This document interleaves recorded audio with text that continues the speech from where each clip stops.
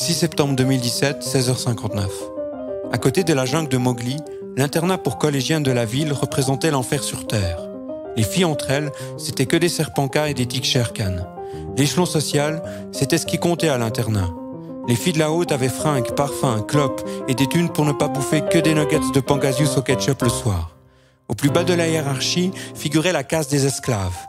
Les esclaves étaient reconnaissables à leurs fringues cheap, mais surtout aux marques rouges sur leurs joues, marques présentes généralement chez les catcheurs subissant des prises au visage.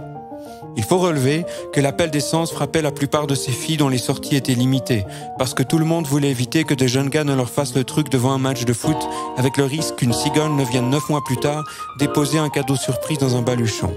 Alors, ce sont les esclaves qui, sous la menace, se coltinaient la besogne sous les draps.